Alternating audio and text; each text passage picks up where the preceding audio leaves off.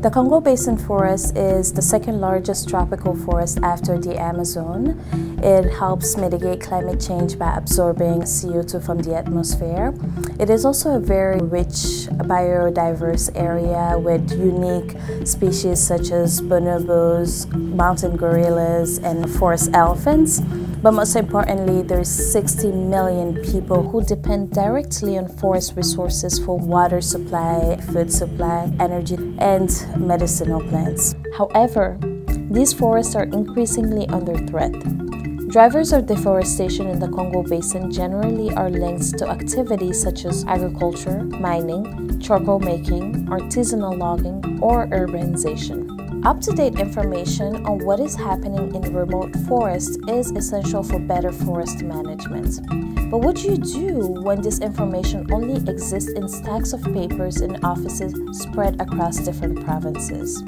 Working hand in hand with national governments, the World Resource Institute has developed a solution to address these challenges. The Forest Atlas is both a database that allows governments to digitize and manage their information and a website that shares this information with the public for free.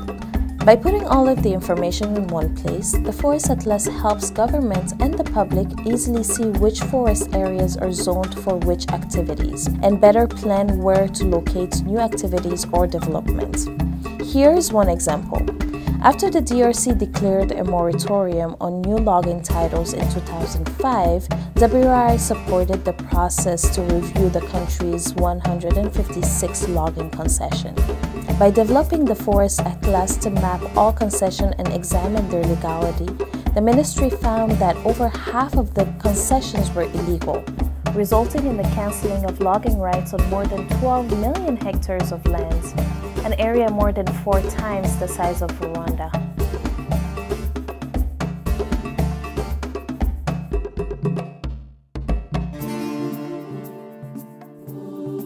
In the past, data on trends such as forest loss and fire were only reported once a year.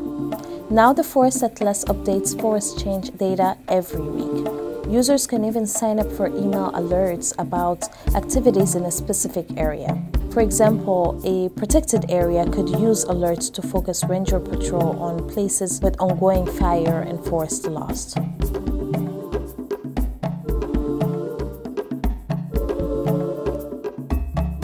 Although the forest atlases were first developed for countries in the Congo Basin, they have since expanded to other countries like Madagascar and Georgia.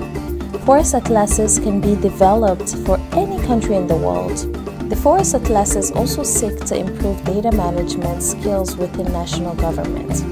WRI trains technicians within Forest Ministry so that they can add new data directly to the Atlas database. In this way, the partnership improves transparency while building capacity over time. While access to online information is important, most forest stakeholders across Central Africa have limited internet accessibility. To address this, posters containing a summary of the Forest Atlas information are frequently printed and distributed to local forest managers.